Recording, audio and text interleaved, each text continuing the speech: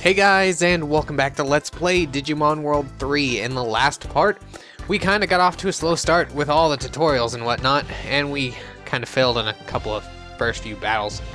Uh, but I'm going to show you a little bit more about the battle system. I am going to have to do some grinding here, and I am going to, for the most part, keep it in. At this point in the game, it's better off to see some of the combat so you just get to know what is in store uh, for this point in the game. Uh, but we are kind of getting beat up a lot right now because we are such a low level. Uh, but we'll be changing that soon. If there's a trainer, I don't know if it'd be wise to fight them right now, but let's see. I'm Natsumi, a high, happy high school student. Sorry, I'm not interested in younger boys. That means we're not high enough. Level high enough. And then he's just going to talk about like, oh, what is this hole? Seems too big for a mole. Yeah, those will be those come to play later, as will these. This game has a lot of things in the overworld, overworld that come into play later, such as these trees and that water. These are signposts telling us where we're going to go. And then we can actually go quite a bit of areas right now. Uh, but since we are such low level, as you saw in the last episode, we can only do a few battles before we need to restart.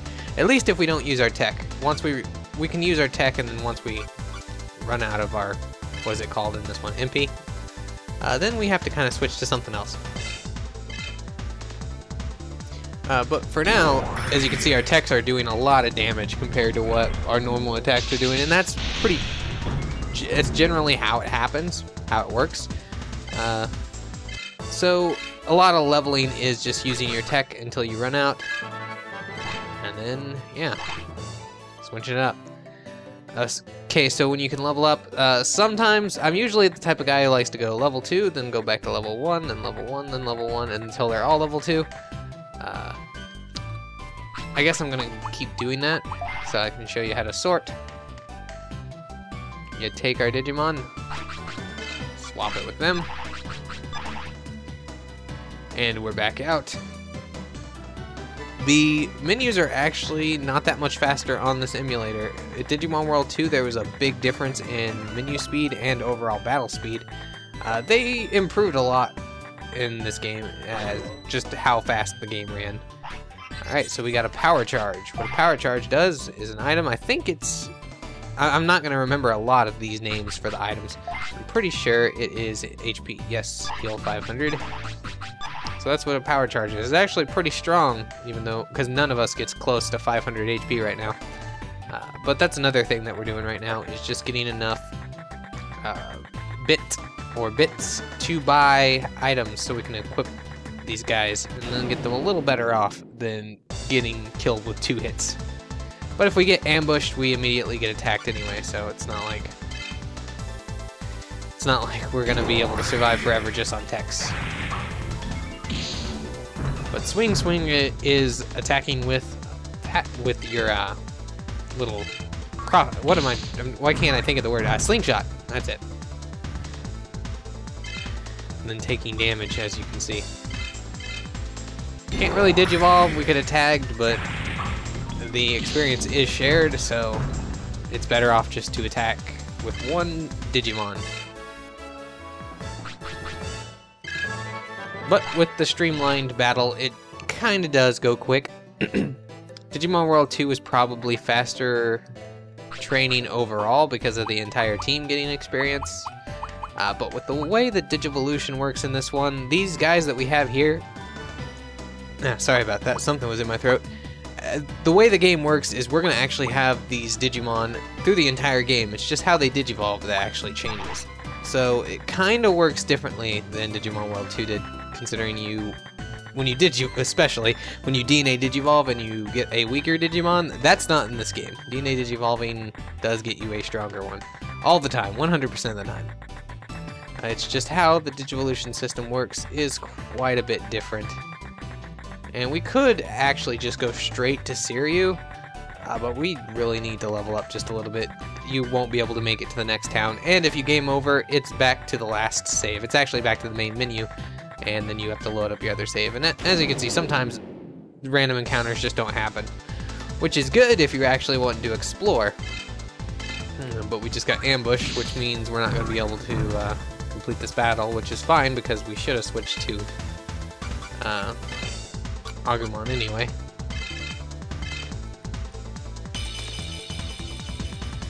So Agumon comes in. It's going to take the brunt of this attack. Agumon have the most damage or uh, the most defense? Yeah. Monmon's the highest attack. He's the highest defense out of the three, and Renamon has the highest tech. I, I meant to use my freaking technique. Oh, and he blocked. That's another thing. Both of us can do this. Uh, we can evade, even though it is basically us blocking. Uh, we can evade and take no damage. Oh, and they can also attack twice if they're fast enough. Well, that sucks. I may not be able to finish this battle. Let's see how if Pepper Breath hits him hard enough. I think Kunemon's weak to fire, so we can hope. Yeah. Yeah, do a backflip.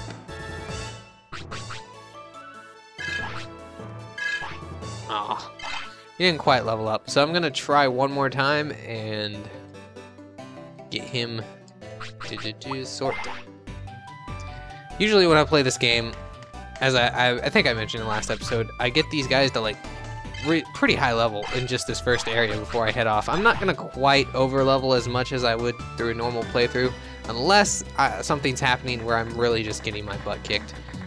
So if I if I'm getting my ass kicked that much, I probably need to overlevel, at least stay for a while. Uh, but this early game will be the only grinding that I really leave in. Uh, but yeah, the battle system, at least a lot of it is streamlined. It's not completely slow. Come on, please go first. Should be able to take him out with one move again. Yeah. And Kunemon's gone. Should level us up. Agumon's level, what was two? I was about to say 10, but I saw the experience. Alright. Well, let's go and heal them. Yeah, th this is, I guess, could be a downside too of this game, is you start really weak. Like, super weak. I know most games start you out, or all games start you out pretty weak, but the fact is that you can only do a few battles before you have to go and heal. So that's like pretty slow. Even in the original Pokemon games, you could get to the first city, although you could lose the first battle as well. Fighting Gary and losing was always just, ah, it was good times. Uh, do not stay in the end. Alright, we're fully healed. Let's take a look at what the items the shop has in store for us at the moment. So, Smith's shop. As you can see, they're separated into two things. Can't get over here. Apparently, there are items you can't buy in the store. But Mr. Smith said he doesn't know about that. Well, at least not know yet. What do you have to say, Gomamon? This is the pawn shop. This is the pawn shop. What's up? Alright, so the pawn shop. This has these ring things, which are kind of expensive as you can tell. We, don't need to worry about these for quite a while. Uh, the pawn shop, I guess, is for accessories like that. Then you got Wizamon, Wizardmon. He's in charge of the item shop. And then we have Gargomon, who is in charge of the armory. See what they have in store for the armory. Alright, so that's what we got right here. So they have the weapons, right or left hands, both hands, and then we have defensive items. It, I actually really like the additions of this just because it makes it feel like more of an RPG, even though the items are pretty generic. So the first thing that we really want to do is defense. Um, and if you hit zero, you can see what they would add to uh, everybody's stuff. So we kind of want... Oh. That's a jacket. And see, th these all go in different slots, too. So I think the first thing we want to do is work on getting hide helmets for everybody. For now, we can get one. I usually, I don't, I don't uh, go around buying a lot of these items right away, uh, but I'm just wanting to show as much as the beginning that I can, so that if I do have to cut out some of the grinding, I don't forget something. So we have the power charge, and we have armor. Oh, did I not go to equip? We have to go status. So who has the, I think Renamon has the lowest defense. Equip. For now, that'll be good. We're going to go and grind a little bit. I'll do a few more battles, get them all to level 3, and then I will grind to at least 5, and then we'll kind of move on. Until I die, and in case I do die, yeah. I will definitely not re-show all me doing that stuff. Uh, but I guess since we do have some TP, I can show you the training. This is the training gym. I do want to work out. Alright, so this is how we raise our stats. Now, I'm probably actually not going to do this right now, just for the simple fact that if we, like, go to the training, you can pick how much TP you want to use. 10 is usually the best, no matter what you do. I'm I'm thinking that, if I remember correctly. And there's like a bonus uh, aspect to it that you can get like an even greater boost. So I'm actually going to wait for one more level. You, I think you always want to use 10, or yeah, hopefully you've always wanted to use 10. If not, I've been doing it wrong all my life. I am definitely not as big of an quote-unquote expert at the game as I was in Digimon World 2. I knew a lot about Digimon World 2. Digimon World 3, I mostly played, and then I never got around to doing all the extra stuff at the end friggin' two attacks. So I was doing 50 damage before, just that level up already took 11 damage off, so while we do start really weak, uh, the jump in how much you gain strength-wise in just one level is a lot bigger in this game than in Digimon World 2. Leveling up in Digimon World 2 was almost irrelevant, it was just the fact that if you DNA Digivolved enough, you would stay stronger than the Digimon that are around you. That's just kind of basic sense. The stats themselves didn't really feel like they did much. In this one, they do quite a bit. It's a lot of, uh, it's a lot of stat boosting that you have to get around to just to get all the di different Digivolutions. And weakness types actually do help a lot. Uh, a lot of the bosses you won't be able to see their stats, but I do happen to remember a lot of them, or at least most of the beginning. Especially the beginning. I started the game over and over again many times. I've beat it only twice, I'm pretty sure. Freaking Kunemon, he's so fast. And you see up there is a little sparkly bar. Gets reset every time we sleep in an inn, so I'm probably not going to be able to show it until we head off to Seiryu. But that's called a blast bar, or a blast gauge. When it is completely full, we will warp digivolve, which does not mean digivolving into a mega, but we will digivolve into an ultimate, I believe. And that is just for a few turns. We go back to normal. Everybody's happy. And that's just kind of something like if you're getting beat the fuck down in a boss fight, that can really help you sometimes. Please don't be super fast. Oh. Well, doesn't matter if you're super fast because I'm super dumb. Since the menus are so responsive, I almost forget that I have to wait a little, or that I don't have to wait a little bit in between menu transitions. I just get to attack immediately. Yep, the game is too smooth for its own good.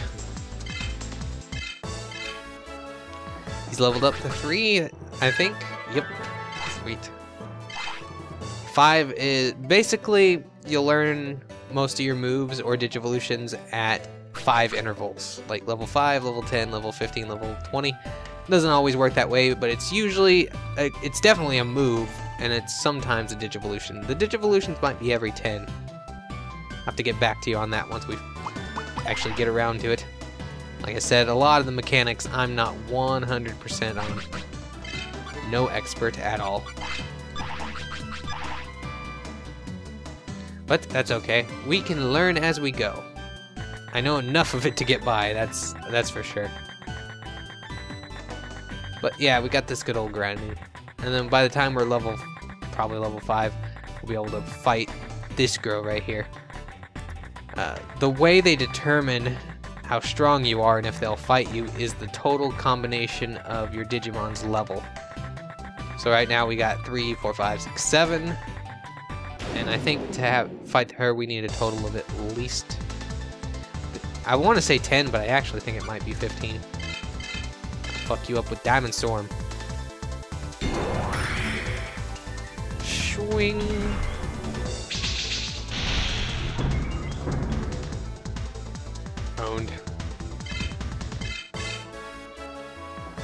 Alright. A few more battles of that, and she'll be level 3. Uh, we could go, I guess, in hopes that I don't get too far out and die. I guess I could show you if we had just one screen over here. Uh, this screen actually can have different variations of Digimon based on where you're at. I think the Digimon here are weaker than the Digimon when you cross this bridge. But they are stronger than the last area. As I will show you, we are running into champions now.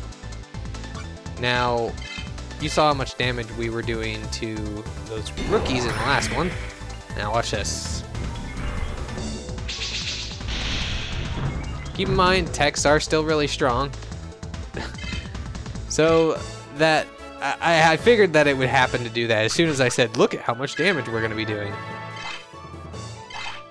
It doesn't always go that easily, trust me. Because I, I just know we're going to get into something and it's gonna we're going to get rocked. Especially if the Digimon can one-hit us before and they are faster than us. That is a bad, bad combination. Uh, but there's nothing really to do here at the moment, I believe. It may be down here where the stronger, strong strongers are. We head over here, nothing. We talk to this guy. I'm a fisherman. Fisherman? ah, Digimon. Tai Kong, Tai Kong Lang. How about it?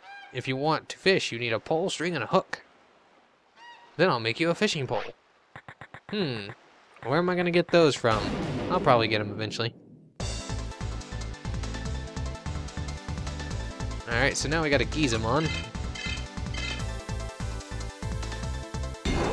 Boing! Shoot! Alright, so he only took half damage. And we blocked his attack. Evading... I... It's them evading is what causes the blast gauge to go up the most. Uh, otherwise, it just goes up with how much damage you take. Oh, he survived. Why didn't I do enough damage? Damn it. Let's see how much damage you gonna do. Whoosh! See what I mean about damage? Now, let's see if we can kill him with this. If not... Monmon's down. Ah. Well, Gizamon's gonna take Mon Mon out. Oh, maybe not. Blocked. I'm just going back and forth. And then those green dots up there are, of course, our Digimon and the status effects of said Digimon. But you can see this area is a lot more dangerous than the last area, uh, but you also get rewarded more for it. Uh, I usually tend to like to stay in the first area until we're level 5, and then we come here. Uh, but I just thought I would show this off since it has been the entire episode, and all we've been doing is fighting. Uh, but in the next part, I'm going to show you some of the training and I will probably just grind a little bit off camera and then we'll head over to Seiryu City. Probably have our first Tamer battle, maybe even a card battle. So, thanks for watching and until the next episode, see you later guys.